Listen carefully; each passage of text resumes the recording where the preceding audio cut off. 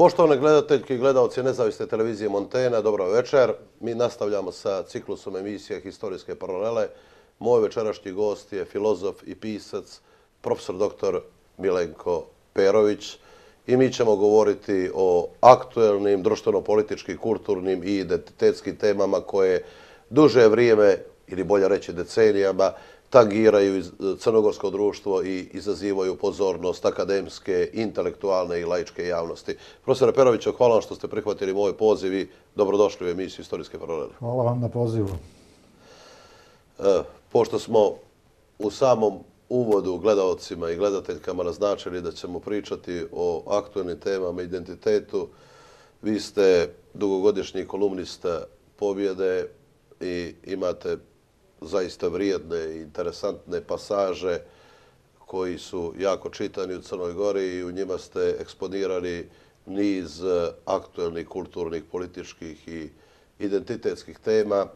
A jedno sam primijetio da ste napisali da u 19. vijeku, kada se to tiče nacionalnog identiteta Crnogoraca, je njegoš značajno doprinio dezintegraciji crnogorske nacije zbog eh, njegovog, kako sam ja to shvatio, panslovenskog i drugog integralizma. Ovo je samo jedan prolog za moje pitanje kako se i kada po vama konstituisala crnogorska nacija i da li je ona u 21. vijeku institucionalno i konstitucionalno zaokružena ili i dalje naciju shvatamo u smislu teorije Benedikta Andersona da je to izmišljena zajednica ili, kako je rekao jedan drugi teoretičar, da je zamišljena zajednica. Da li su crnogorci u punom smislu nacije i odakle kod crnogoraca dvojni nacionalni identitet, odakle današnja svijest da je crnogorska nacija iznikla iz srpskog etničkog stabla, poznata Đilasovština u crnogorskoj historijskoj nauci koja je bila dominantna za vrijeme komunističke paradigme. Izvolite.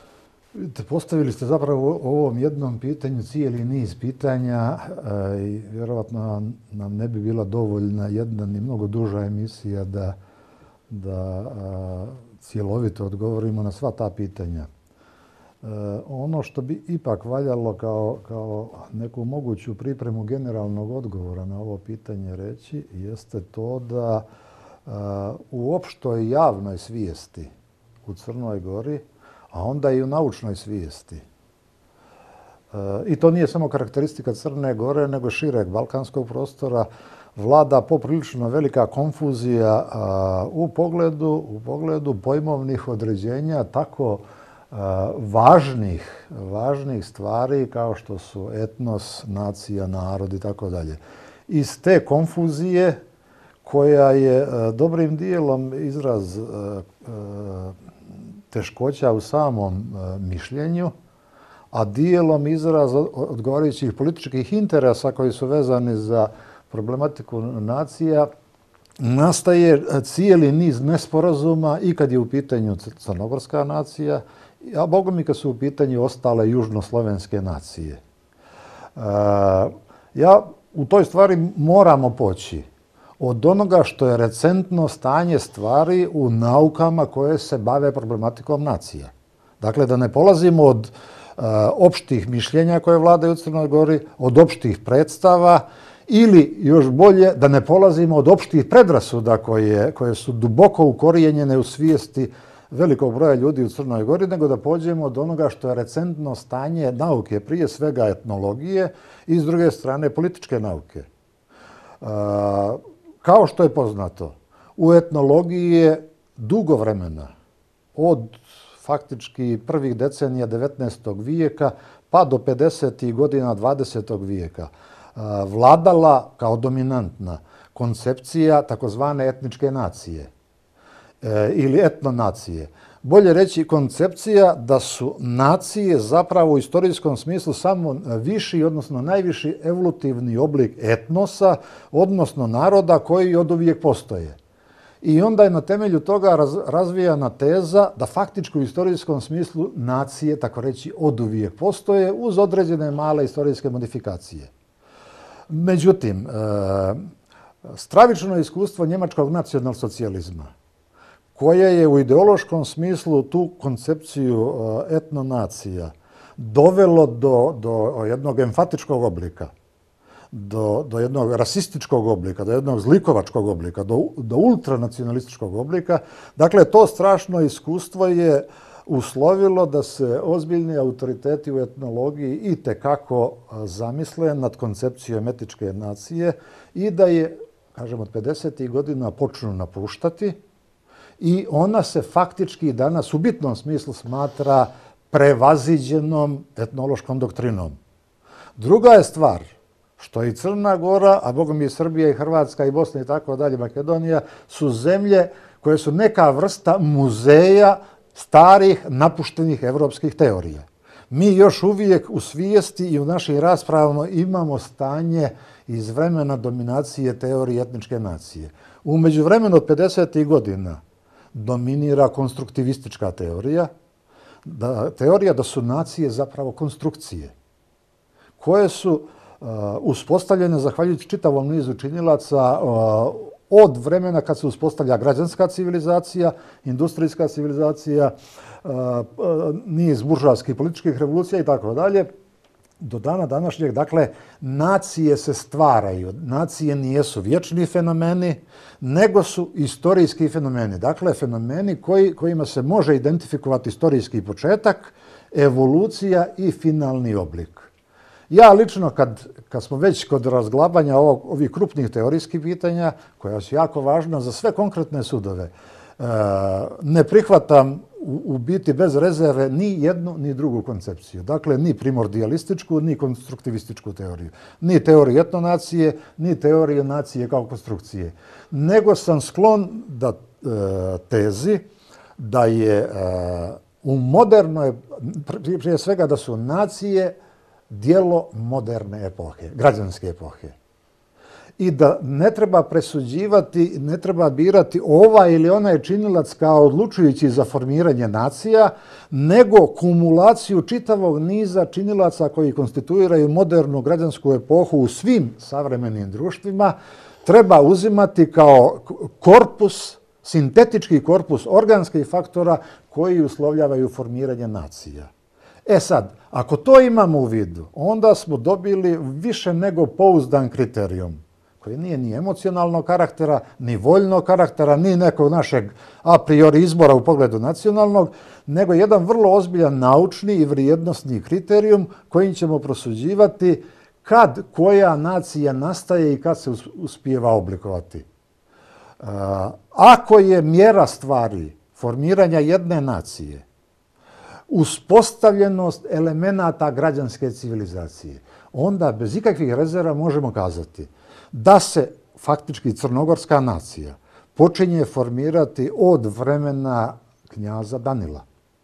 Kad Crna Gora u punom smislu riječi počinje da stupa u modernu građansku epohu, kad počinje da stiče spoljašnji i unutrašnji politički subjektivitet, i taj proces formiranja crnogorske nacije traje do dana današnjega. Taj proces, po mom sudu, nije okončan da ne bi ispalo da sad e, rekao nešto krajnje radikalno i neobično. Istu tezu, bez ikakvih rezervi, mogu protegnuti na pitanje o tome kad je uspostavljena srpska nacija, ili kad je uspostavljena hrvatska nacija, ili kad je uspostavljena bošnjačka nacija, ili kad je uspostavljena makedonska nacija. Dakle, sve pomenute nacije se počinju formirati u 19. vijeku i još uvijek su generalno in statu na scendi u stanju nastajanja. Da nije tako, i to je sad jedan od najživljih mogućih dokaza, da nije tako, mi danas ovdje ne bismo razgovarali o pitanju crnogorske nacije.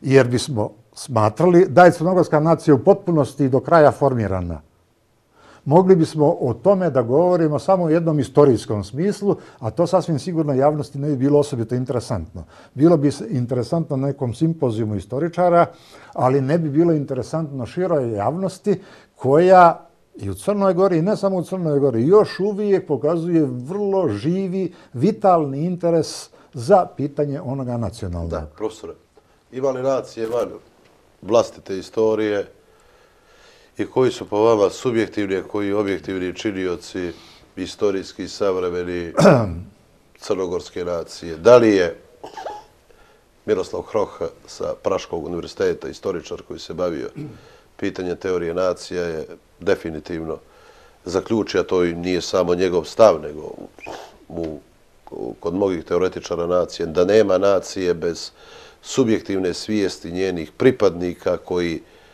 izričito kažu da pripadaju toj naciji i kako komentarišete fenomen da crnogorcima u 21. vijeku prijeti maltene hazarska sudbina, da ima 280.000 nacionalno sa stanovišta popisa deklarisanih crnogoraca, od toga skoro polovina su dvojne ili dualne nacionalne svijesti. I kad uzmemo u obzir taj subjektivni iskaz rezultate prvog popisa stanovništva po nacionalnoj pripadnosti od 48. do današnjeg dana, ima, nemamo konstantu, već imamo jednu zaista varijabilu i rapidno opadanje pripadnika crnogorske nacije. Vidite, e, da bi se smisleno moglo, mogao pripremiti odgovori na ovo pitanje, valja opet raščistiti jednu stvar. E, nacija nije organska, nije biološka kategorija, ali nije ni vještačka konstrukcija. Dakle, nije ni jedno ni drugo nego je nešto sasvim treće. To će reći, e, iskustvo različitih nacija u svijetu pokazuje da odnos između onoga etničkog, narodnosnog i onog, e, onog nacionalnog varira od zemlje do zemlje. Na jedan način, primjer radi, nastaje američka nacija, na drugi način nastala francuska nacija, na treći način nastala njemačka nacija, na četvrti italijanska nacija, na peti način nastaju južnoslovenske nacije, na šesti način ste imali taj veliki inženjering sovjetskih nacija, na sedmi način nastaju nacije Azije, Afrike i tako dalje. Dakle, e, kad se pogleda to beskrajno šaroliko iskustvo, transformaciji onog narodnosnog u nacionalno, onda se čini da prave teorije koja bi objasnila taj proces nema. I zbog toga i nastaju ozbiljni sporovi ne samo među naučnicima, nego i među živim ljudima, predstavnicima određenih nacionalnih i ostalih entiteta, svjetonazora i tako dalje. Po mom sudu, ono što je važno, bez obzira kako se postavlja odnos između onoga narodnosnog i onog, onog nacionalnog. Dakle, da li je jedna nacija izrasla iz jednog etnosa ili je e, nastala stapanje više etnosa ili je nastala u svojevrsnom melting potu kao američka nacija ili je e, nastala kao recimo e, neka od sovjetskih nacija. Ono što je presudno važno u svim tim razlikama jeste promjena kvaliteta stanja određenih narodnostnih skupina. U kom smislu? U tom smislu što je moja, moja odredba nacije da je nacija politički narod. Onoga momenta kada ono etničko stekne modernu formu života, kad postane ono političko. Vi ste pristalice e, građanskog koncepta francuske nacije? E, do, do određenog stepena. Do određenog stepena, e, zašto kažem do određenog stepena? Zato što ne zapostavljam ni ono što je istorijski fakticitet. A istorijski fakticitet da kod nekih nacija ste imali situaciju da oni da one uslovno rečeno mirno, bez velikih istorijskih potresa, iz onog etničkog evoluiraju ono nacionalno. I sad postavlja se pitanje šta se tu promijenilo u toj evoluciji. Sve se promijenilo jedna neosviještena etnička skupina postaje nacijom. Dakle, postaje politički fenomen. E, I kao politički fenomen stiče samosvijest. Utemeljuje se u nacionalnom jeziku, utemeljuje se u nacionalnoj kulturi. Svega toga prije nije bilo ili ga je bilo u rudimentarnom obliku na stanju naroda. Kad su, konkretno, kad su u pitanju crnogorci, opšte je poznata stvar.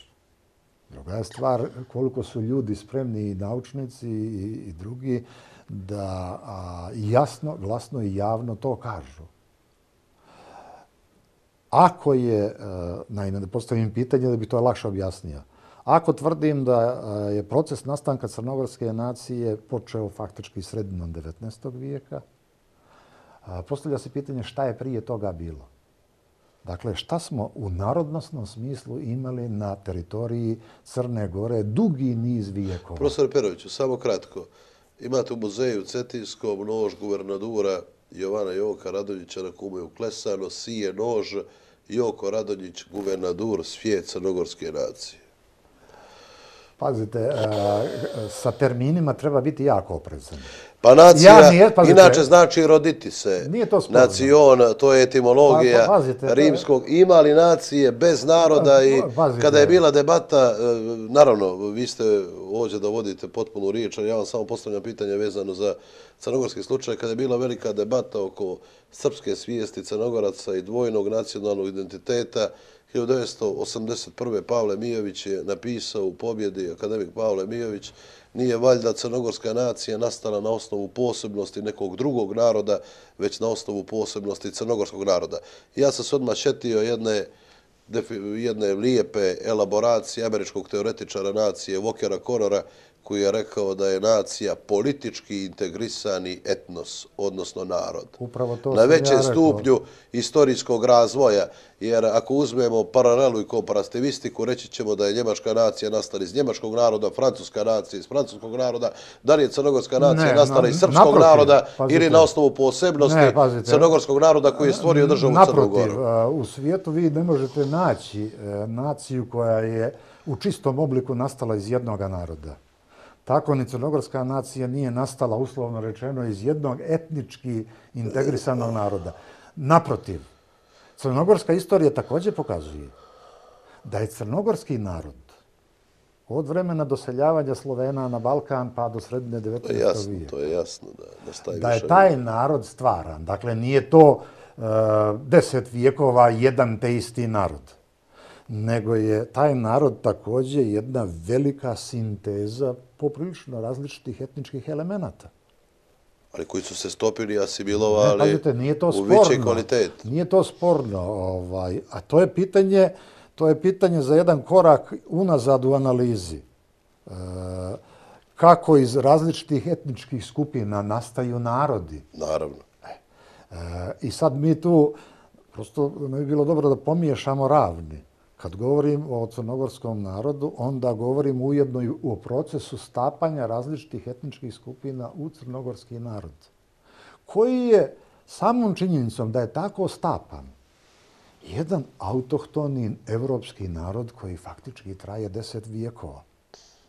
Drugo je pitanje, i to je sad posebna dimenzija ovog razgovora koju ste vi otvorili e, jednim nizom pod pitanja, kako se iz tog naroda ili bolje reći u tom narodu dešava u onom istorijskom razdoblju, kad taj narod treba da evoluira u naciju, kako se dešava jedna neobična bifurkacija, kako se dešava razdvajanje. Na jednoj strani u jedan uslovno rečeno prirodni proces ili proces koji je sličan procesima nastanka drugih e, zapadnoevropskih nacija, kako iz crnogorskog naroda nastaje crnogorska nacija, a kako i zahvaljujući kojim faktorima iz tog istog crnogorskog naroda nastaje, e, nastaju pripadnici srpske nacije. Dakle, ja ne samo da ne mislim da Đilasova teza da je crnogorska nacija nastala iz srpskog etničkog korijena, da ima bilo kakvog smisla i bilo kakvog istorijskog uporišta, nego jedna potpuna besmislica. Jedna potpuna besmislica koja je, koja je, e, možemo mi nju, e, njezin nastanak da razumijemo određenim kontekstualnim razlozima, na jednoj strani, ako već govorimo o Đilasovom shvatanju crnogorske nacije, budući da ga bez ikakvog smisla i rezona pojedini autori optužuju kao tvorca crnogorske nacije, dakle, s jedne strane, kod Đilasa imamo u osnovi Staljinovu doktrinu nacija. Ne treba zaboraviti da je Stalin bio od od Boljševika poslat svojevremeno, ja mislim, 910. 12. godine u Beč, da prostudira nacionalno pitanje i da da marksističku doktrinu nacije. Stalin je dao onako kako je dao. Mnogi su danas skloni sa ogromnim omalovažavanjem da gledaju na tu koncepciju, da ona nema teorijskog uporišta i tako dalje. Stalin je tu koncepciju razvio na temelju recentnih rezultata tadašnje, tadašnje zapadne nauke. I Kardelj je preuzeo. I Kardelj je posle preuzeo. Pitanje, u, čak to i nije loša knjiga i trebali bi, trebali bi ljudi danas da čitaju. Upravo tako.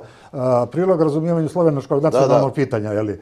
Ovaj, to je jedna stvar. Na drugoj strani imate u, u ovom nastanku Đilasove koncepcije. Dakle, s jedne strane marksističku, i to kažem apsolutno bez ikakvog vrijednostnog predznaka. Dakle, imate jednu uh, drugorazrednu ili trećerazrednu marksističku koncepciju. Na drugoj strani... Da li leninističku prije da, možemo reći? Može i tako da se kaže. Da ne govorimo teoretičarima druge internacionale koji su imali okay. socijaldemokratsku teoriju slažem nacija. Se. Bauer, Kautski, tako Renner je, tako je, tako je, tako je.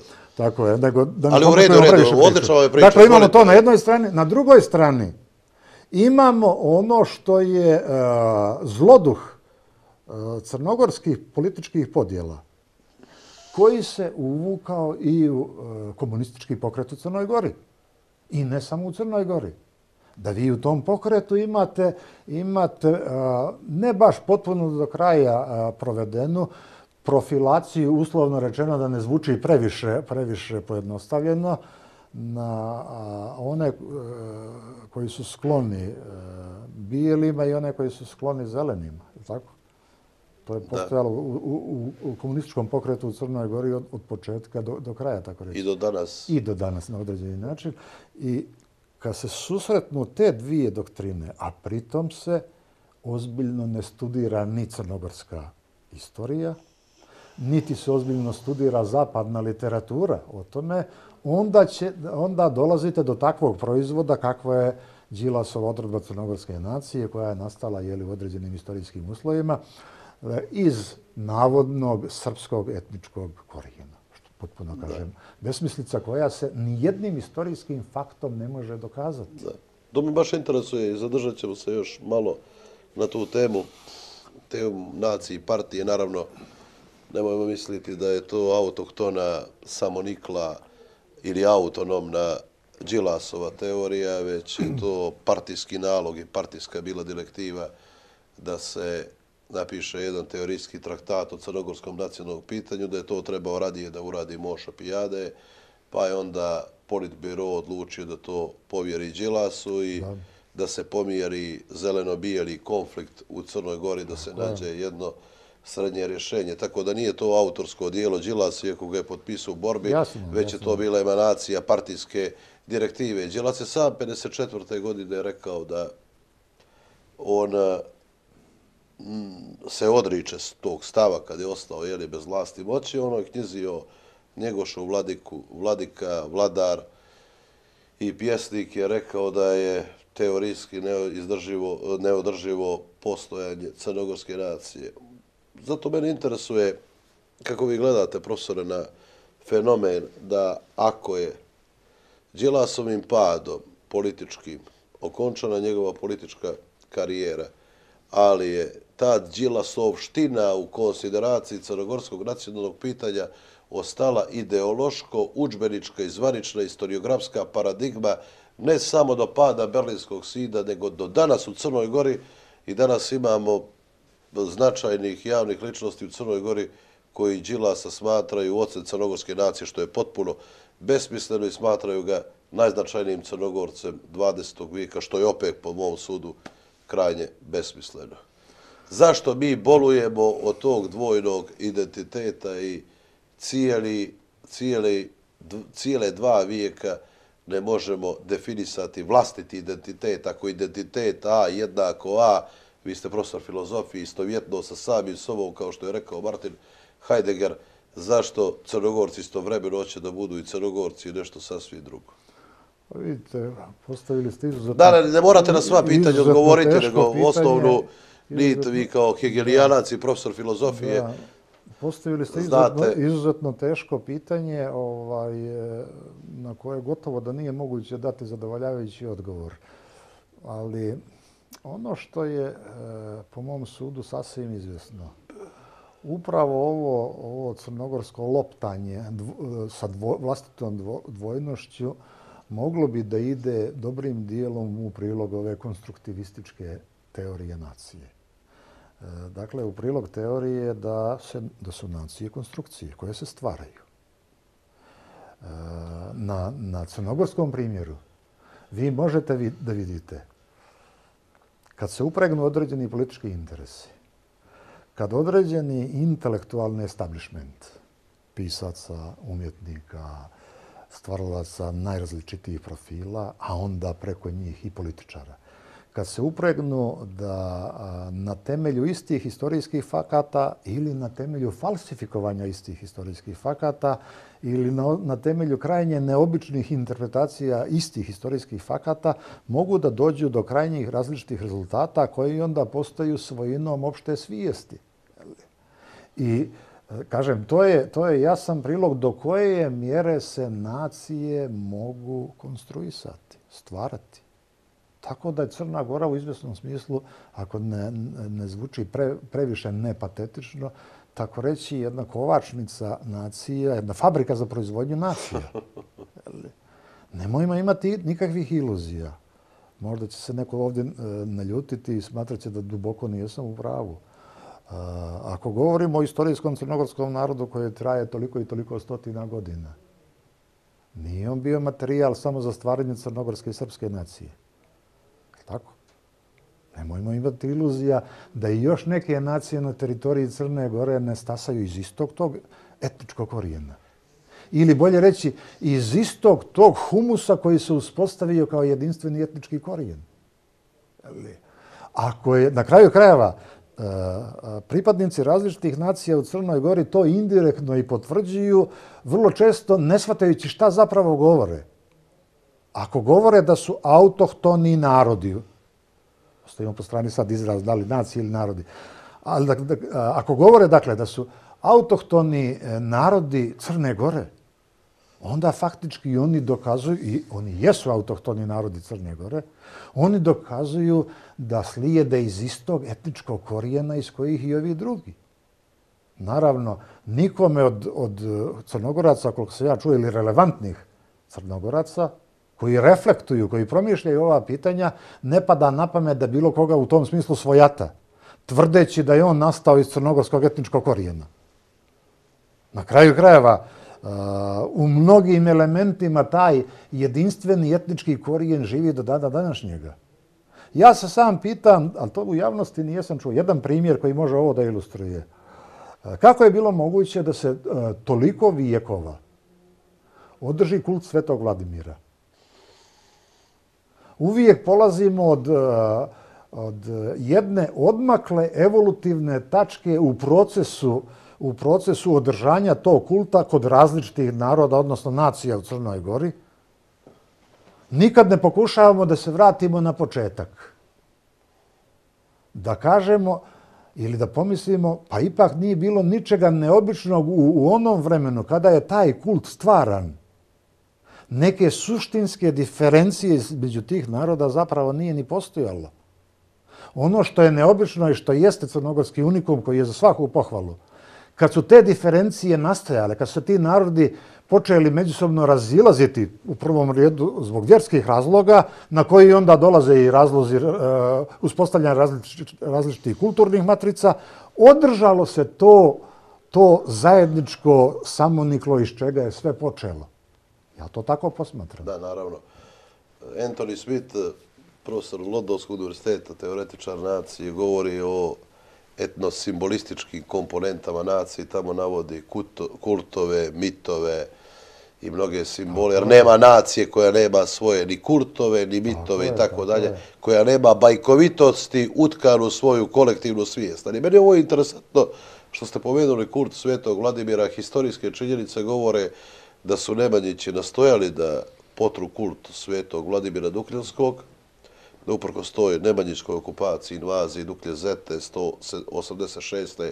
1360. se ono čuvao i do današnjeg dana, naravno, taj kult je srpski okupacijoni mitropolit Pilohije Radović nastojao da povrijedi podizanjem željezne crkve na Rumiji, ali imamo također jedan vrlo važan historijski fakat koji e, mnogi putopisci kao neposredni šedoci koji su ovaj, boravili u Crnoj Gori u 19. Eh, stoljeću, konstatuju da je kult Ivana Crnovića bio nevjerovatno jak, a imamo u mnogim istraživanjama savremenih historičara podatak da do Njegoša kult Miloša Obilića nije bio uopšte prisutan.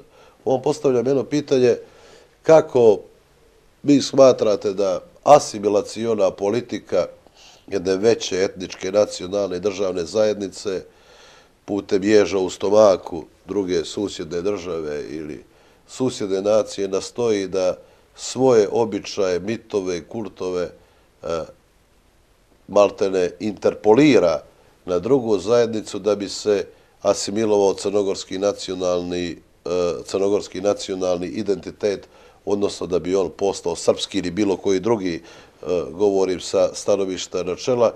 Kako vi danas e, e, smatrate da osam godina nakon referenduma i dalje nije su ožiljci i nije su, ne sam da nismo došli do faze ožiljaka, ožiljaka nego nije, nije su zacijelile crnogorske identitetske rane, već da i dalje ovaj krvarimo u simboličkom smislu riječi i mučimo svoje identitetske muke. Izvolite, pa profesor. pazite, to u načelu nije neobično.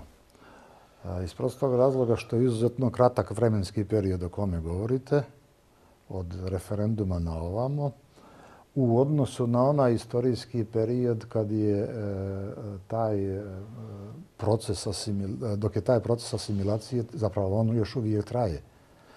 Dakle, na ovaj ili onaj način e, taj proces asimilacije traje preko 150 godina. Nije on neobičan u, u svjetskim razmjerima. Ovaj, iskustva pokazuju da, da uvijek postojala sklonost da da određeni narodi koji uspostavljaju, uspostavljaju svoju državu i koji se počinju nacionalno konstituirati, nacionalno konsolidovati, nastoje e, da se što više prošire. Jer u krajnjoj liniji, u samom pojmu nacije, vi imate s jedne strane ideju političkog objedinjavanja, što je moguće više etniciteta, u naciju kao političku zajednicu. A s druge strane, istovremeno, pojam nacije podrazumijeva i e, konkurentsku naciju. Dakle, u pojmu nacije sadržan je rivalitet prema drugoj naciji. Inače, inače, ideja Ujedinjenih nacija ne bi imala smisla kao jedna mogućnost da se taj rivalitet, ili bolje reći da se uh, taj rivalitet stavi pod neka pravila igre. Mada oni pod pojmom nacije shvataju države, ujedinjene Do određenog, države. Do, određeno, tako je. Tako je. Anglosaksonski model shvatanja tako nacije. Je, ne samo anglosaksonski, nego i francuski, to je i američki i francuski model. Ovaj, e, to nije sporno. E, dakle, to što je e, e, od osobito od sredne 19. vijeka e, ali u izvesnom smislu i kroz djelovanje, kroz djelovanje pravoslavlja na, na, na prostoru Crne Gore, onda i kroz djelovanje onoga što se kasnije nazvati Srpskoj pravoslavnom crkvom, sondiran je određeni teren da se vjersko određenje u datom istorijskom trenutku e, transformiše i shvati kao nacionalno određenje. Jednim dijelom se to i u Crnoj Gori desilo. E, pojam pravoslav, ili bolje reći pojam srpstva u Crnoj Gori, e, nekoliko vijekova se je gotovo bio sinonim pojmu pravoslavlja. I crnogorci kad su uvjereno i samouvjereno govorili da su Srbi i da pripadaju srpstvu i da se bore za srpstvo, zapravo su govorili nešto sasvim drugo, da se bore za, za pravoslavlje. Da nije pravoslavnu vjeru. Crnoj Gori etnička ili ne etnička ne, naravno kategorija? Da, naravno da nije. Pazite, naravno da nije etnička kategorija, nego je religijska kategorija. Začuđujuće je, dosta literature sam pročitao, niđe nijesam primijetio jednu stvar. Crna Gora je u svojoj istorijskoj borbi protiv, protiv Osmanlija bila i sama do određenog stepena izložena takozvanom milet sistemu. Sistemu a, unutrašnje raščlanjenosti Osmanskog carstva ne po etničkom, nego po religijskom principu. Politička organizacija Osmanske imperije nije, e, nije uzimala kao političke subjekte ili aktere države etničke skupine, nego religijske skupine. I mileti su religijske skupine. I šta mislite, to je neobično da nikome ne pada na pamet.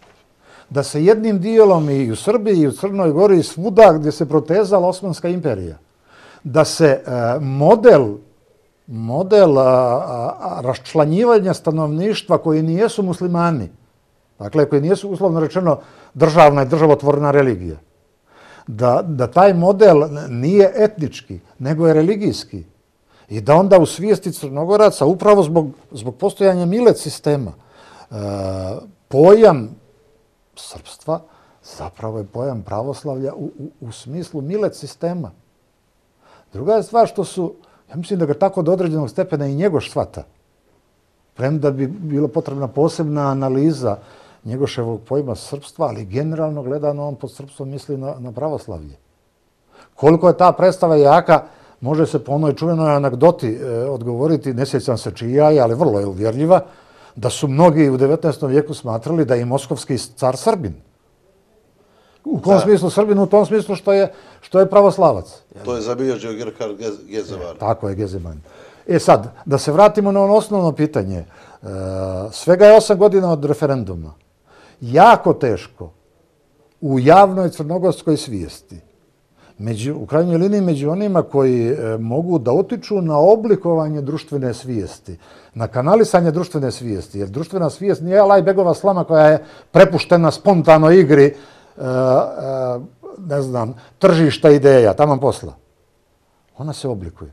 Dakle, u tom javnom prostoru još uvijek je, tako reći, gerilska ideja, ideja crnogorske nacije. Ideja da je crnogorska nacija autohtono izrasla iz crnogorskog naroda i da tu nema ničega neobičnog i da postoji autentična crnogorska kultura. Dakle, e, još uvijek u javnom diskursu e, nije, nije probio fakticitet istorijskih činjenica i nije probila kao vodeća, čak kao underground ideja, kao gerilska ideja, e, ideja istorijske državne samobitnosti Crnogoraca, nacionalne samobitnosti, kulturne samobitnosti i tako dalje. Dakle, Crna Gora je ostvarila politički čin osamostaljenja referendumom. Međutim, očigledno da je potreban cijeli niz malih unutrašnjih referenduma u crnogorskom društvu, kulturnih referenduma, religijskih referenduma, da bi se crnogorsko društvo u pravom smislu utemeljilo kao jedno moderno društvo koje bi iza sebe ostavilo ove aporije kojima se danas bavi i o kojima sad razgovaramo. Da. Naravno, ja naciju shvata herderovski u smislu da duh naroda stvara naciju, ne mene. Malo je, sad... malo je ta teza opasna, da se razumijemo. Mnogi korifeji velikosrpskog nacionalizma upravo su smatrali u tom smislu u jednom falsifikovanom herderovskom obliku ili u falsifikovanom grimovskom, čak i ne falsifikovanom u, grimovskom ajmo obliku. Ajmo da uzmemo i u interpretaciji Saije Berlina, ali kažem i da zaista smatram da je crnogorska nacija izrasla na osnovu e, državnopravnih, kulturnih, ekonomskih, socijalnih e, i svih drugih osobenosti crnogorskog naroda na osnovu njegove viševjekovne oslobodilačke borbe za sobstvenu državu i sobstveni identitet. Ali potpuno je sad nebitno što ja mislim u ovom kontekstu, vaša priča je jako uvjerljiva, ubjedljiva i razložna i argumentovana, ali mi interesuje fenomen profesore sve snage antisuverenističke koje su demonstrirale velikosrpsku ili prosrpsku unitarističku, unionističku svijest, bile na referendumu protiv obnove nezavisnosti Crne Gore, ponovo su se mobilisali sve te iste snage, kako komentarišete taj fenomen, su protiv prilaska Crne Gore NATO pakt.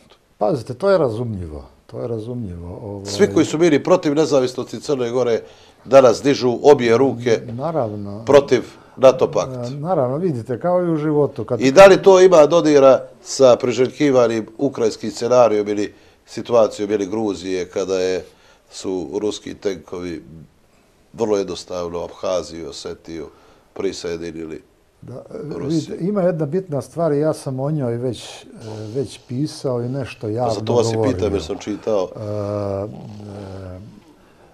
e, politička aporija independizma i unionizma u Crnoj Gori, koja je oblikovana od 90. godina, i koja je dobila razrešenje, političko razrešenje, na refer, rezultatskim, rezultatom referenduma. I onim što je sve proisteklo u smislu uspostavljanja Crne Gore kao samostalne države, međunarodnog priznanja Crne Gore i tako dalje. Dakle, e, referendum je razriješio tu aporiju. Po nesreći, politički pobjednici u tom referendumskom razrešenju nijesu shvatili smisao vlastite pobjede. U kom smislu? U tom smislu da aporija je razriješena referendumom. To što još uvijek postoji toliko ljudi u Crnoj Gori koji e, politički ne dijele pobjedničko mišljenje sa referenduma, je politička činjenica koja dobiva potpuno drugi smisao i drugo značenje u odnosu na postavljanje te činjenice prije referenduma. Stvari su se promijenile. Unionistička ideja je do referenduma i na referendumu bila legitimna politička ideja. Poslije referenduma ona to faktički više nije. Ja sam napravio jednu analogiju, pa mi pojedini prijatelji zamjeraju da je analogija dosta, dosta žestoka sa američkim ratom za nezavisnost, sa sukobom između, između sjevera i juga američkoga. Ja sam rekao... To je građanski rat. Jeste građanski rat. Pa. Ali ne rat za nezavisnost. Nešto da... pa, e, šta sam rekao? Rat, građanski rat, tako je. Ovaj, nije, naravno, nije rat za U redu, u redu, u redu. Dobro ste me popravili jer... Ništa, ništa, to je bi, lapsus lingve, ništa tako drugo. Je, otišlo bi, otišlo bi stvar u etar kao da profesor ne, ne razlikuje građanski rat i rat za nezavisnost. U redu, izvolite. Dakle, uh, ideja, ideja juga i ideja sjevera bile su dvije legitimne političke ideje do građanskog rata.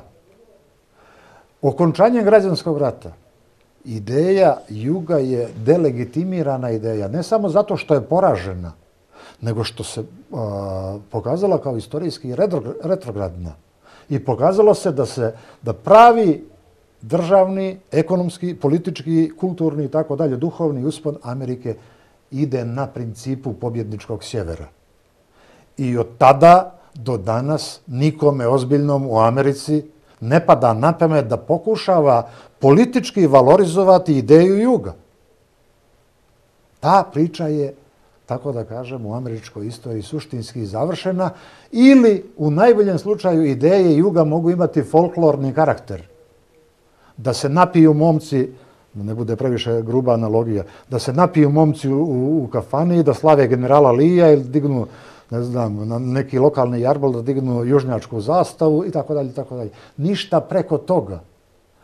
Princip sjevera je super, e, civilizacijski superiorniji princip, zato je on i pobijedio. U Crnoj Gori princip independizma je civilizacijski superiorniji u odnosu na princip unionizma i zato je on na referendumu pobijedio čak i sa tim nekorektnim, nekorektnim nametanjem tih, e, te, te stupice od 55% glasova. Dakle, on je pobjedio kao civilizacijski superiorni. Kažem, problem je što pobjednici nijesu to shvatili. Trebalo je da shvate i još uvijek nije kasno da shvate, jer se mora izgraditi politička organizacija i duhovna organizacija društva koja delegitimira ideju unionizma. Oni to nijesu uradili i zbog toga se sad i dešava na svim, čak i lokalnim izborima, čak i izborima u malim crnogorskim opštinama, dešava se da se maltene sudbina, državna sudbina Crne Gore iznova, iznova stavlja na tas i svi izbori od referenduma na ovamo na neki način postaju ponovo referendumske situacije. To je prosto rečeno nedopustivo. To je nedopustivo. Zbog toga i nije slučajno da unionističke snage ohrabrenje činjenicom da nijesu spakovane u muzej starina kao što je trebalo. Iznova, iznova legitimiraju ideju ponovnog referenduma, ponovnog preispitivanja statusa, državnog statusa Crne Gore. A mislite da su upravo zbog toga protiv ulaska Crne Gore u NATO? Pa naravno. Naravno, nema tu...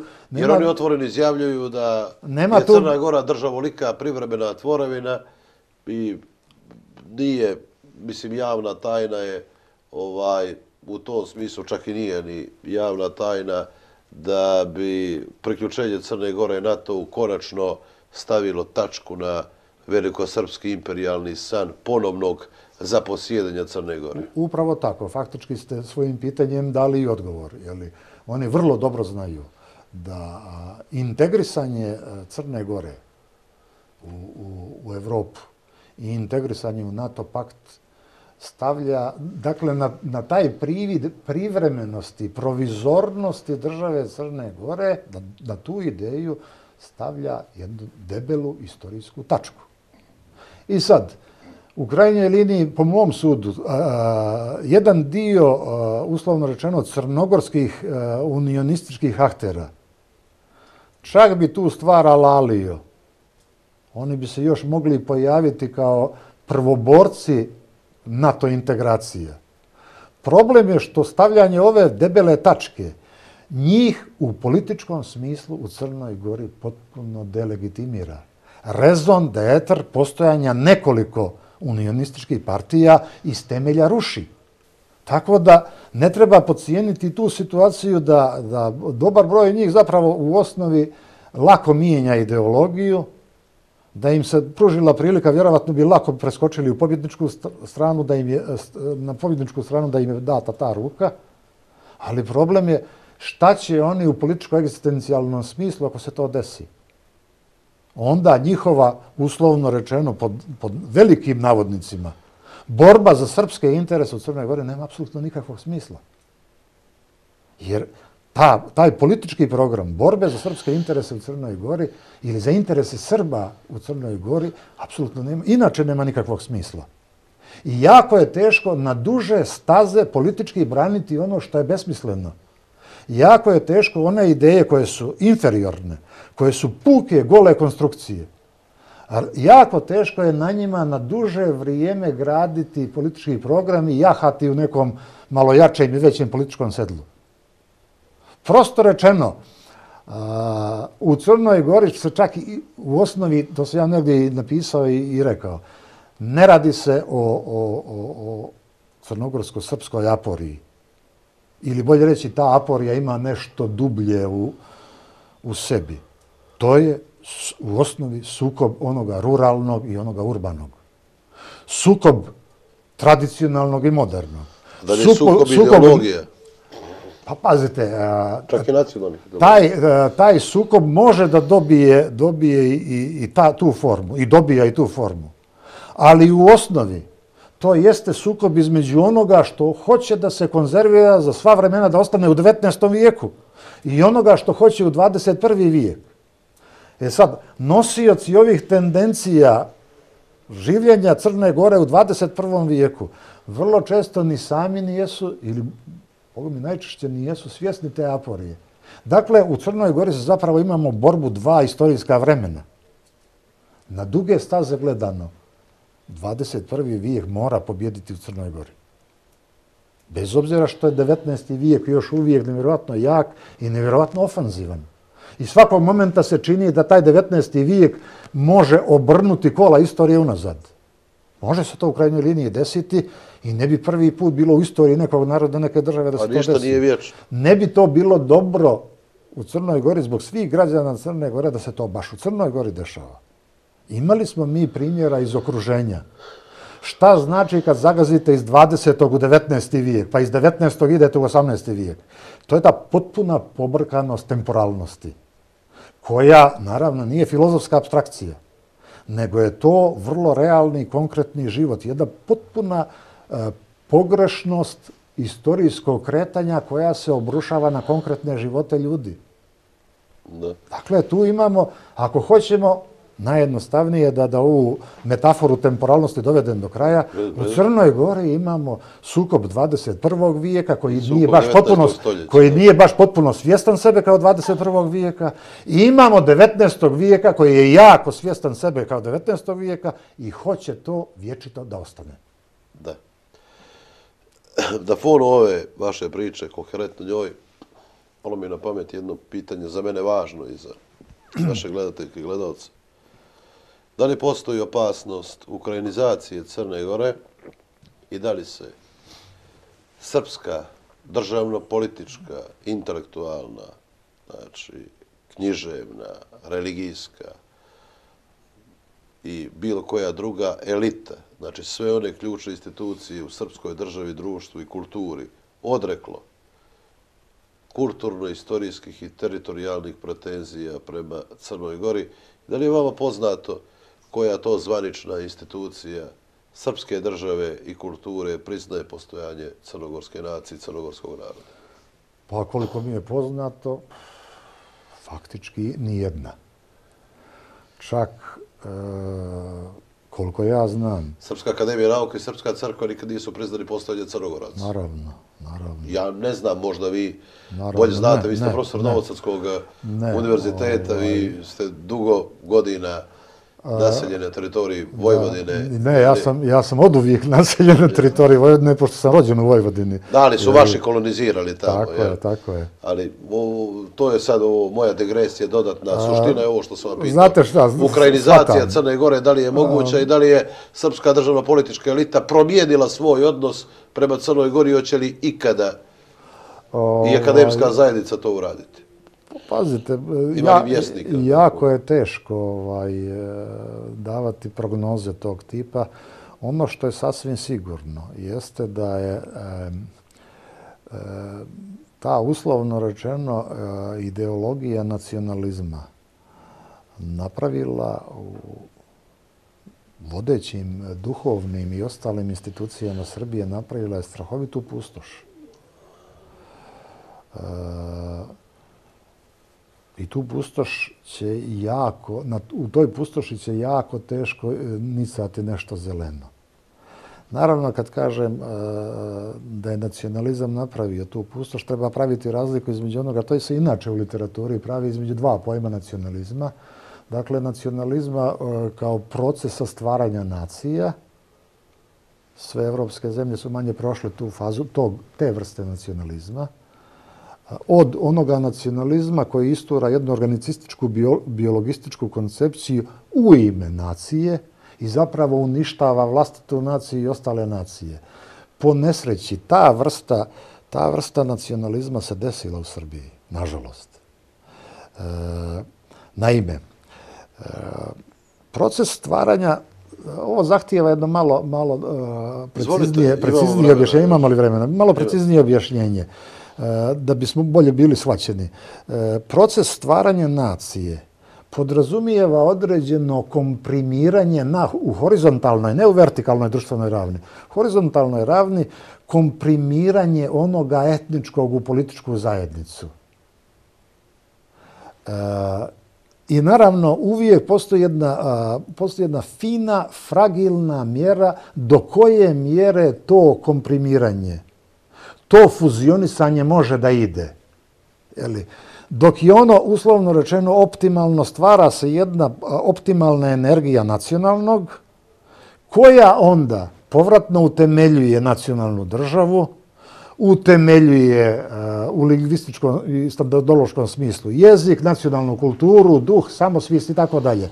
Ako se u toj stvari malo prećera, ako se taj šraf komprimiranja, na, fuzioniranje onog nacionalnog, ako se malo previše pretegne, upravo zbog želje da ono nacionalno bude što je moguće kompaktnije, dolazi se, dolazi se u jednu fazu opasne fuzije koja je nevjerovatno eksplozivna.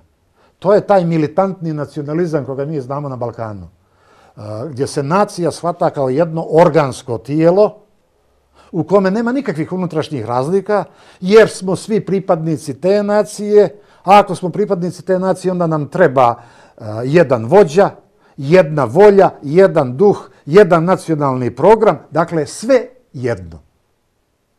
I na kraju se to uvijek završi strahovitim krvoprolićem. I u pogledu istrebljivanja unutrašnjih neprijatelja, dakle oni koji nijesu ili neće da budu dovoljno mi, a onda se podrazumijeva uh, i one druge koji se, e, pripadnike drugih nacija koji se doživljavaju kao neprijatelji. To pretezanje se desilo, desilo e, prije svega zahvaljujući intelektualnim elitama Srbije. Naravno, nije se to desilo u posljednjih 20 godina, to pretezanje ide iz 19. vijeka. I naravno, mogli su se napraviti fantastične E, intelektualne karijere, moglo se ulaziti u akademije, moglo se biti ovo, moglo se biti ono, sve u funkciji tog pretezanja. I onda uvijek dolazi trenutak pucanja. Pozicija, pozicija srpske intelektualne elite, a onda preko nje jednog dijela politi, e, političke elite, prema Crnoj Gori još uvijek je u tom stanju pretezanja. Još uvijek nije došlo do generalnog otrežnjenja. Još uvijek se sanjaju ti, ti e, fuzioni sno, nacionalistički snovi iz 19. vijeka. Naravno, realnost ne čeka. Realnost svakog dana lupa po nosu. I u posljednjih 20 i nekoliko godina e, desilo se nekoliko žestokih, ne lupanja po nosu, nego nekoliko strahovitih nokauta. Poslije koga se taj grogirani pred, bokser pretezač svaki put ustajao tvrdeći javno nije mi ništa. I svaki sljedeći put što je udarac bio jači, on je sve glasnije govorio nije mi ništa. Ali to ne može ići ad infinitum. Otvorili ste jedan fenomen, vrlo interesantan. Ovaj. Tome, prosto rečeno, tome mora doći kraj. Ja sa studentima svojim često govorim o denacifikaciji Evrope poslije drugog svjetskog rata. Baš mi interesuje taj fenomen. Da li je ikad denacifikacija na jugoslovenskom prostoru nakon krvavih jugoslovenskih ratova sprovedena i okončana i zašto nokautirani velikosrpski nacionalizam i dan danas tvrdi da mu nije ništa i on nastavlja da hoda Crnom Gorom. Imate najnoviji slučaj u Beogradu, dolazak ovog eh, agenta KGB-a Rešetnikova, koji je tako uvredljivo nastupio prema Crnoj Gori i najnoviji izjavu srpskog mitropolita u Crnoj Gori, propalo kandidata za srpskog patrijarha, gospodina Radovića, koji je kleo aktuelnu vlast pozivajući se lažno, izmišljajući svoje riječi, pripisujući svetom Petru. Da li smo uopšte mi doživjeli lustraciju, da ne govorimo denacifikaciju i zašto tako ciklično se sve vraće na staro? Očigledno ne. Očigledno ne. Radi se vam Filohiju Radovića koji izjavio, ovo je na fonu priči, to bi me interesovao vaš komentar, koji je Evropsku uniju NATO pakt nazvao četvrtim rajhom. Izvolite, profesor. A, možda bi najprikladnije u objašnjenju ili u razumijevanju toga šta se to zapravo dešava na Balkanu, šta se to dešava ovdje, ovdje među nama. A, imalo smisla poslužiti se jednom tezom koju je Mihajlo Lalić vrlo često a, varirao u svojim dijelima, da se, da se ođe istorija ponavlja da li kao tragedija ili kao farsa, što bi Karl Marx rekao, to je drugo pitanje. Najčešće, na, i, najčešće i kao jedno i kao, drugo. drugo. Bravo. A zašto se, zašto se ponavlja u nedostatku dobrog pogonskog goriva koji će iz tog brloga da izvuče istoriju? Ili bolje reći, u nedostatku naše, ajde sad prevedem ono, ili da pokušam da prevedem ono na što je Lalić mislio, u nedostatku snage i spremnosti ovih naroda, svih, južnoslovenskih naroda, da se izvuku iz tog žljeba i do, da doista krenu konačno da stupe u modernu epohu. Ili da se poslužim onim, onim temporalnim, e, temporalnom analogijom, da konačno izađemo iz, iz e, 19. pa zakoračimo bar u 20. vijek, pa onda da hvatamo priključak prema 21. vijeku. E, dakle, te spremnosti nema već 20 i nekoliko godina a, duhovni prostor, kad je u pitanju konkretno Srbija, pa jednim dijelom i Crna Gora, Eh, osnovni duhovni prostor društva su eh, uzurpirali ljudi kojima to ne odgovara. Kojima to ne odgovara. Eh, bilo ljudi sa intelektualne scene ili ljudi sa religijske scene. Njima ne odgovara proces evropeizacije ni Srbije ni Crne Gore. Zašto im ne odgovara? Prosto rečeno, njih u tom procesu nema. Zamislite, zamislite vi jednog Dobricu Ćosića u procesu ozbiljne evropeizacije Srbije. On u tom procesu svojom literaturom nema šta da traži, svojim javnim istupima, evo sad više ne istupa javno, da se ja u to ne bih baš zakleo, da se neće još koji put desiti, svojim knjigama i tekstovima, svojim idejama, on tu nema šta da traži što se našalio pokojni Mirko Đorđević, Dobrica Ćosić je najveći srpski pisac na prelazu iz 20. u 19. vijek. E, upravo... Inače, po struci Kalebar iz Velike tako, Drenove. Tako je. E sad, dakle, e, šta će, primjer radi, šta će jedan Amfilohije Radović ili, ili neki njegov kolega, šta bi imao da traži u Crnoj Gori koja se doista sekularizirala, koja se uspostavila kao, kao laička država, kao laičko društvo? Šta bi on imao da traži? Da li je on uopšte sposoban? U više navrata sam ga slušao, e, čitao sam šta govori i postavljam pitanje. Ne da li taj čovjek hoće i može, nego da li je taj čovjek uopšte e, sposoban za moderni diskurs racionalnosti? Sigurno nije sposoban za moderni diskurs racionalnosti, ali je on izuzetno moćan u Crnoj Gori, što je evidentno. Državno-politička elita u Crnoj Gori nije u stanju da izađe na kraj sa njim. Jedan dio javno, lukrativno flertuje sa njim. Pa imamo situaciju da željezni objekat na Rumiji, koji je negacija kulta Svetog Vladimira, egzistira devet godina na Rumiji kao nelegalan objekat, i da se Amfilohije igra sa državom i pokazuje da uopšte ga ne interesuje što država kaže. Imamo jednu frapantnu situaciju koja je zaista konsternirajuća za one sa demokratskom kondicijom, sa šećanjem na prošle dane, da imamo jedan svetosavski objekat i jednu varijantu svetosavskog hrama sa, iz Beograda prenešenu ovdje u Podgoricu, gdje imamo krste sa četiri ognjila ili popularna 4S, gdje imamo jedno zvono od devet tona posvećeno okupatoru Crne Gore Simeonu Mirotočivom i svi mu dođu na poklonjenje, a oni danas kune na sve strane i drži se stajališta da je crnogorska nacija komunističko kopile i nakot, kako je izjavio masu puta, o čemu imamo jeli, mnoštvo izvora. Dakle, profesore Peroviću, mene bi zanimalo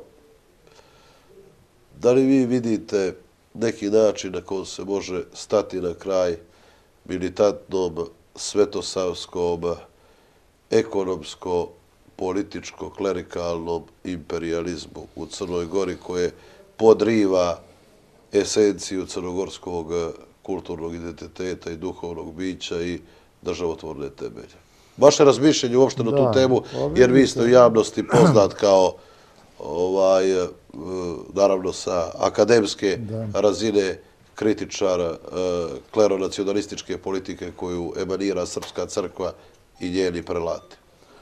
Vidite, u više navrata sam i sam e, na ovaj ili onaj način u javnosti istupao sa tezama koje su slične ili čak identične identične ovim e, vašim tezama e, i sam sam postavljao slična pitanja, počeo od onoga kako je to uopšte moguće u Crnoj Gori. E, možda sam i postavljao ta pitanja dosta naivno, vjerujući da, da je vladajuća crnogorska politička elita e, u, u političkom smislu jača nego što objektivno jeste. E, po svojoj prilici da, da sam e, u tu procjenu više projektovao svoje želje nego smisao za realnost. E,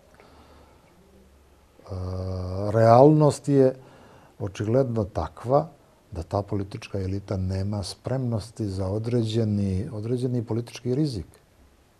Međutim, ono što je sasvim sigurno, ukoliko ne dođe do ozbiljne konfrontacije, strateške konfrontacije sa takvom ekspanzionističkom uh, vjerskom ideologijom i vjerskom praksom, od Crne Gore sasvim sigurno neće biti ničega na duge staze.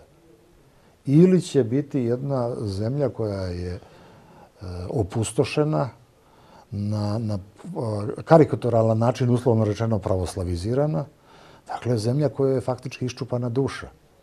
A zemlja koja je iščupana duša nije zemlja. E, očigledno da ponašanje Amfilohija Radovića ide u tom pravcu, on se sve više i više ponaša kao nasilnik, po elementarnoj logici nasilnik kome se ne suprotstavljate ozbiljno, postaje sve veći i veći nasilnik. I tome nema kraja. Apsolutno. Apsolutno tačno. Profesor, vi ste poznat i po tome što ste igrali značajnu ulogu u kodifikaciji crnogorskog jezika.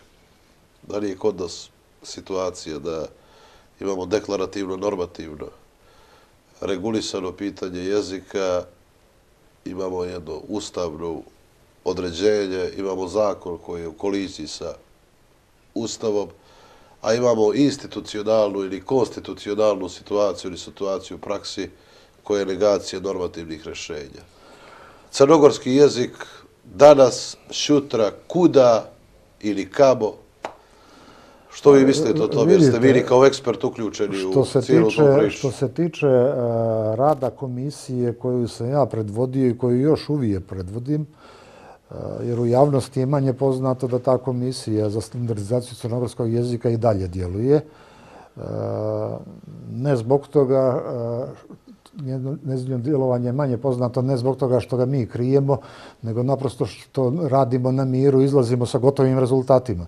Dakle, što se tiče komisije i što se tiče jednog dijela političke elite koja je omogućila da ta komisija radi i, i koja je podržavala tu komisiju, uradilo se jako puno. O, o, osnovni sklop standardizacije crnogorskog jezika je načinjen. Načinjen je uspješno. Poslije toga je načinjen e, e, akcenatski savjetnik crnogorskog jezika, I sad se u završnoj pripremi je e, rad, samo što nije predato u štampi, na transkripcijskom priručniku crnogorskog jezika. Ni jedne jedine ozbiljne lingvističke primjedbe na taj ogromni lingvistički korpus nije napravljeno.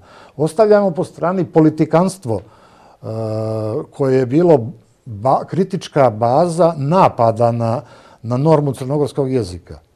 Dakle, ozbiljna lingvistička nauka nije imala primjedbi protiv toga.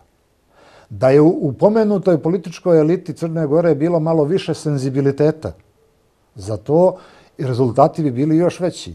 Ne rezultati rada komisije. Kažem, ponavljam, komisija je uradila i radi sve ono što je bilo moguće da se uradi i što je potrebno da se uradi.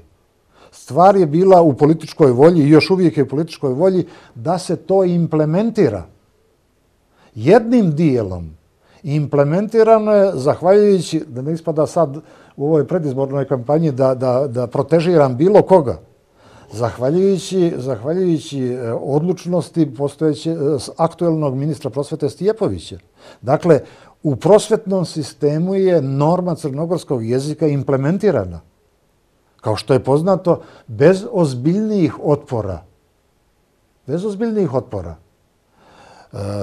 u državnom sistemu, u tri grane državne vlasti, apsolutno niđe nije primijenjena norma crnogorskog jezika. Jedino kabinet predsjednika Skupštine piše crnogorskim jezikom. Pa pazite, možda, možda, kabinet predsjednika, možda kabinet predsjednika Skupštine piše, ali Skupština u svojim aktima ne piše.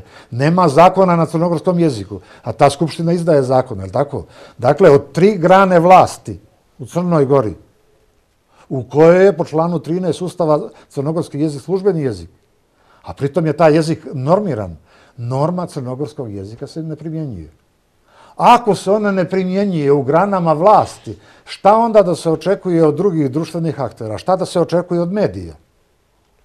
Dakle, opet je kao i sa religijskim pitanjem na dijelu e, pitanje političke volje da se nešto sprovodi. Ja sam se skoro našalio da, da imam utisak da jedan dio intelektualne i političke elite Crne Gore je bio prosto iznenađen kada smo objavili normu crnogorskog jezika, pravopis crnogorskog jezika. Iznenađen, maltene u, u, u, nad Crnom Gorom je lebdilo pitanje je li, je li to crnogorski jezik? Pa su se ljudi čudili odjednom, zar je moguće da je to crnogorski jezik? Zar je moguće da ovo naše privatno kućno š e, postaje dijelom norme crnogorskog jezika. Dakle, dobar dio te elite nije bio spreman na samoga sebe, na ono što, što je njegovo imanentno jezičko biće. Dakle, taj dio elite se očigledno stidi vlastitog jezika. i pokušava permanentno da govori nekim drugim jezikom.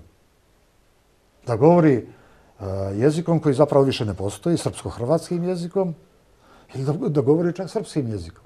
Nije nikakav problem, neka govore jezikom koji god hoće, ali problem u tome što se, što se stide vlastitog jezičkog bića. Čovjek u osnovi nema, izuzimajući naravno svoju porodicu i, i svijet ljudi, u materijalnom i duhovnom smislu nema ničega bližega od jezika. Jezik nije njegov organo, nije oruđe kojim se komunicira. Jezik je on sam. E pa po Herderu jezik je osnovni faktor nastanka nacije. Upravo tako. Po Herderu. Upravo tako. I ova situacija sa... Ali gdje smo mi, profesore, imamo problem sa jezikom, nemamo pitanje riješeno crkve, ne crkve u religijskom jeli, smislu, da, nego da, crkva shvaćena kao e, element vjekovne vertikale nacionalnog i kulturnog identiteta. Imamo polarizaciju unutar iste nacije, E, se rađaju dvije nacije, od kojih pola nacije koja se osjeća pripadnicima već druge nacije, ali prihvata fakticitet da je to druga nacija. Tako je. Ne žele Crnu Goru da traje bez od danas do šutra.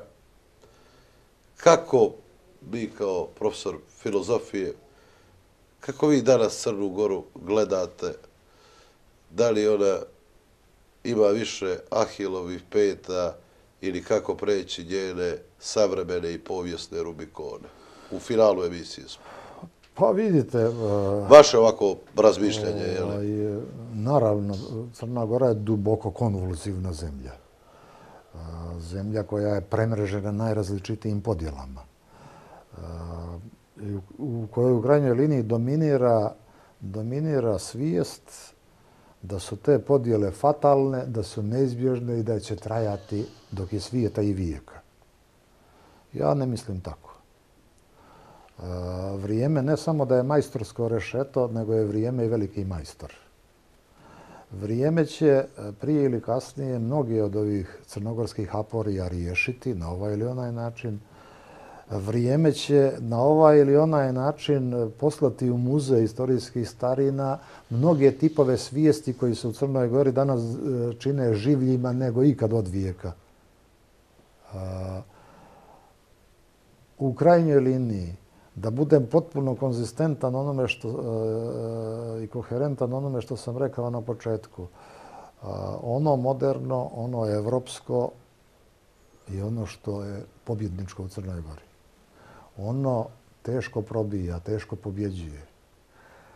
Talozi 19. vijeka, mentalnih stanja 19. vijeka, shvatanja 19. vijeka i ranijih vijekova su u Crnoj Gori strahovito jaki. Talozi najrazličitijih, najprimitivnijih propagandi u Crnoj Gori su jaki. U tom elementu Crna Gora je gotovo podsjeća na neku vrstu mentalne augijeve štale. Ona se mora čistiti, čistiti, čistiti ne u smislu izbacivanja živih ljudi, da bi neko ne, ne spočitava ovaj ili onaj militarizam. Nego mora u intelektualnoj, a onda preko intelektualne i u političkoj eliti, da preovlada uvjerenje da je strateški pravac razrešenja svih crnogorskih aporija jeste odlučni, odlučni proces nastupanja u ono što je moderno, Ja to ponekad poredim sa, sa drumskom situacijom. Kad se čovjek nađe u preticanju i ima dvije mogućnosti. Naravno, obje su smrtonosno opasne.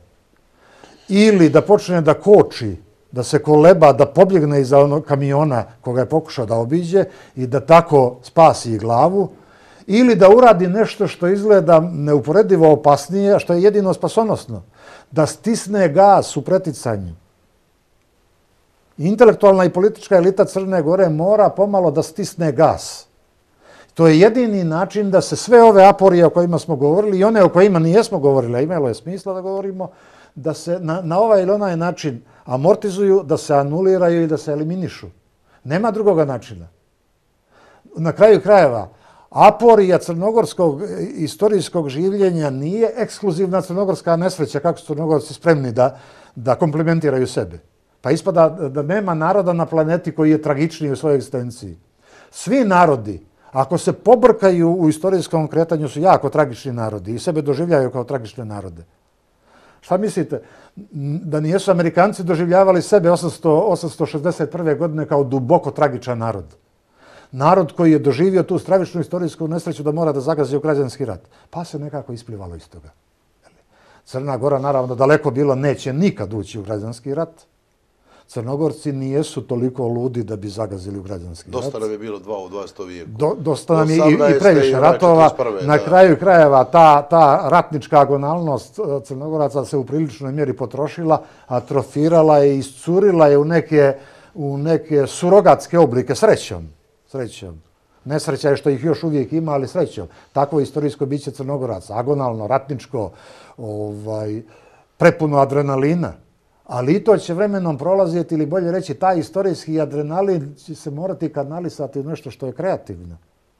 I onda će valjda i ta čuvena aporija o kojoj stalno govorimo, o kojoj se vrtimo polako, zamirati i nestajati u vremenu. Pa se neka sljedeća generacija vjerovatno toga više neće ni sjećati kao da nikad nije postojalo ili ako čeprkaju arhivske nalaze jednog ranijeg vremena neće vjerovati oko čega su se crnogorci svađali kao što nama izgleda neobično, kako su nam se preci svađali oko, oko međa, oko mrgina i oko sličnih stvari. Dakle, oko svega onoga što je ostalo za nama u vremenu i prostoru. E, dakle, otprilike, po mom sudu, takva bi Crna Gora trebala da izgleda. A što se tiče svih onih retrogradnih tendencija, tu bi imalo smisla reći ono što je čuveni eh, helenski mudrac Diogen rekao Korinčanima koji su ga osudili na progonstvo, ja vas osuđujem na ostanak. Dakle, sve one koji, koji e, u Crnoj Gori rade protiv Crne Gore, e, najbolje je osuditi, najefektnija kazna jeste držati u Crnoj Gori, a da pritom Crna Gora napreduje tamo gdje je ozbiljno krenula njima će to biti najbolnije i vjerovatno će se i oni u svijesti vremenom preokretati, shvatajući šta im je zapravo vitalni, lični i kolektivni interes. Da. Profesore Peroviću, mi smo termin za našu emisiju iskoristili. Hvala vam puno. Hvala i vama. Hvala vam. Poštovane gledateljke gledalce nezavisne televizije Montena, bio je to filozof, redovni univerzitetski profesor dr. Milenko Perović.